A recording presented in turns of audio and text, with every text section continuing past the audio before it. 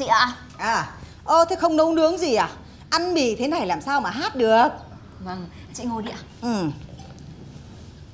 Chị uống nước ạ.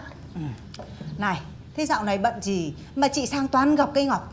Dạ vâng em cũng hơi bận chị ạ. Bận thì tốt Cơ mà tháng này tiền trọ là chậm chị hơi lâu đấy. Tiền trọ ấy ạ? Ừ.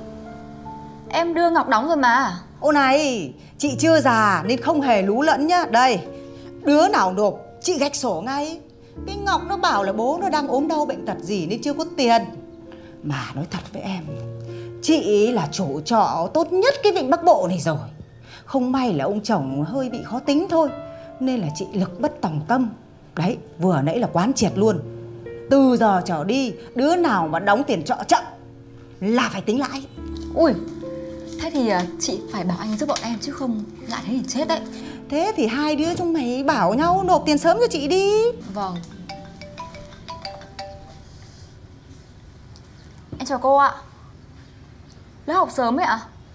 Vâng vâng em đi luôn đây ạ. Vâng ạ em chào cô.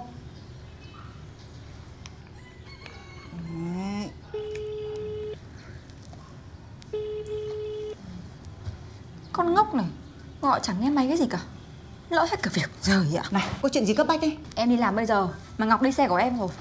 Lấy xe chị mà đi. Chị ở đây đến tối cơ mà. Thêm mượn một tí nhá. Đi thoải mái đi. Đổ cho chị đầy bình xăng là được nhá. Vâng ạ. Em cảm ơn nhá. À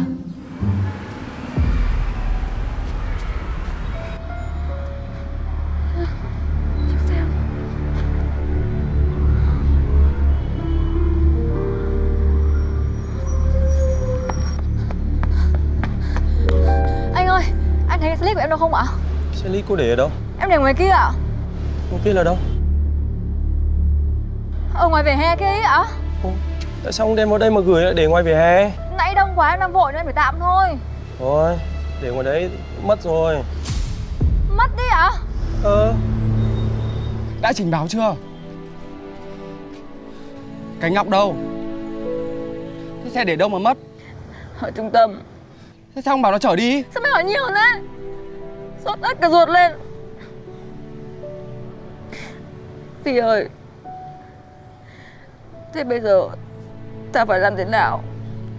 Thôi, mất xe chứ phải mất hồn mất xác đâu. Mày dở hơi à? Xe của bà Dung đấy.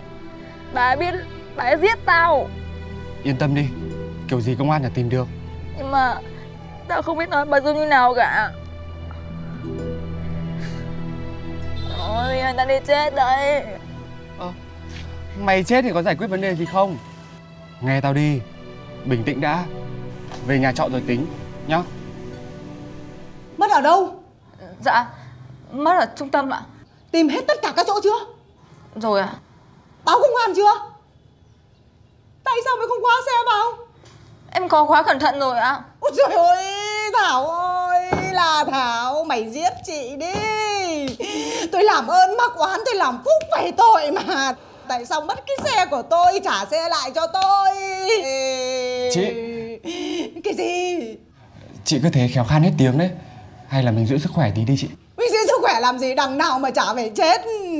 Cái xe đấy là lão chồng chị thích lắm. Bây giờ mất cái xe đấy khẳng định là mất xác luôn.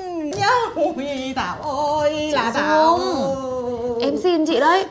Chị bình tĩnh lại đi Chị nhìn con Thảo mà xem. Nãy giờ nó có run bắn lên như thế. Chị mà còn như thế này nữa nhá Là con Thảo nó ngất ra đây đấy. Ôi, Nhìn cái mặt nó tái xanh tái nhợt thế kia gì. Muốn mắng nó cũng không được. Cơ mà cái xe là phải đèn Vâng ạ. Bọn em sẽ đền xe cho chị. Giá cái xe này là bao nhiêu ạ? Bây giờ đấy Cái xe này phải về hỏi lão chồng chị. Đấy chúng mày sang mà hỏi lão đi Chị không dám về đâu Không dám về đâu. Em biết rồi Nhưng mà chị cũng phải cho bọn em thời gian thu xếp nữa chứ. Em mong anh chị tạo điều kiện cho bọn em ạ. Nhìn chúng mày chị cũng thương lắm. Nhưng mà không biết được là cái lão chồng hổ vô của chị Nó có tha cho không. Thảo ơi Khổ thân tôi thế nào